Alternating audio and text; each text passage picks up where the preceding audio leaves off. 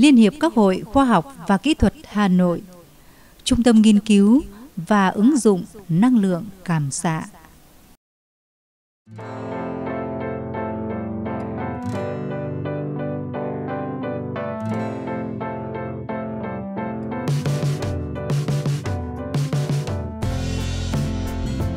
cái phương pháp mà mới này cái tác dụng ờ, lớn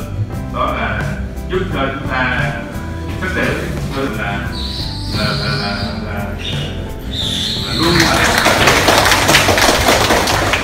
à, trước khi á, mà tôi bệnh bị bệnh thận này rồi à, à, nói chung mình cũng dài đến tuổi mà sống của mình từng giờ từng phút. Do vậy á,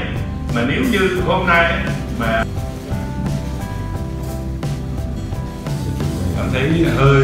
à, hơi lạ lạ kỳ kỳ á chắc lẽ chút xíu tôi sẽ đi sâu vào mọi khi mình chúng ta tôi đi dạy ở Ba Lan à, mấy năm. Và hiện nay có lẽ là tôi đi lại à, sáu tháng ở nước ngoài sáu tháng ở trong trước đây là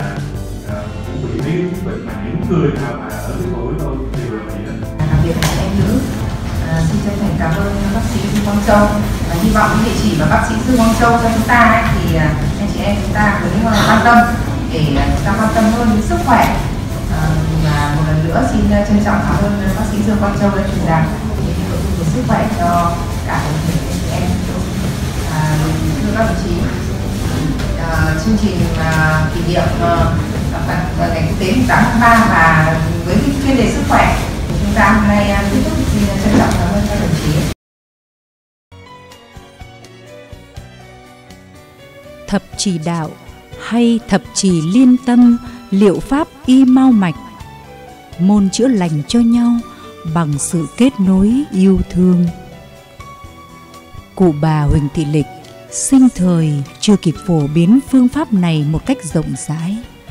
thì chúng tôi sẽ là những người tiếp nối công việc của bà. Dư quang châu.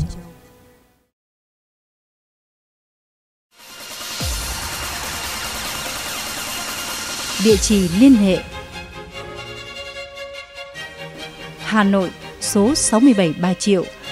Liên hiệp các hội khoa học và kỹ thuật Hà Nội, Trung tâm năng lượng cảm xạ Điện thoại 0913 590 502 093 6550 900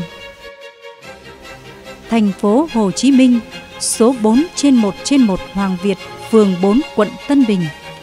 Điện thoại 0983 792206 0918 133 635. Chi tiết trên website www.thậpchíliêntâm.vn